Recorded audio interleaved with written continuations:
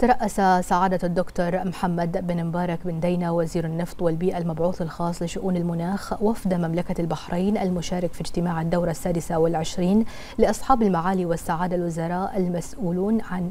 المسؤولين عن شؤون البيئة بدول مجلس التعاون لدول الخليج العربية الذي عقد في العاصمة القطرية الدوحة. وأشار سعادة الوزير إلى حرص مملكة البحرين على تعزيز أواصر التعاون واتساق الرؤى وتحقيق التكامل بين الأشقاء في دول المجلس في مختلف المجالات البيئية مشيدا بما اتخذه الوزراء المسؤولون عن شؤون البيئة بدول مجلس التعاون من قرارات هادفة وبناءة تدفع بمسيرة العمل البيئي الخليجي نحو التنمية المستدامة على الصعيدين الإقليمي والدولي.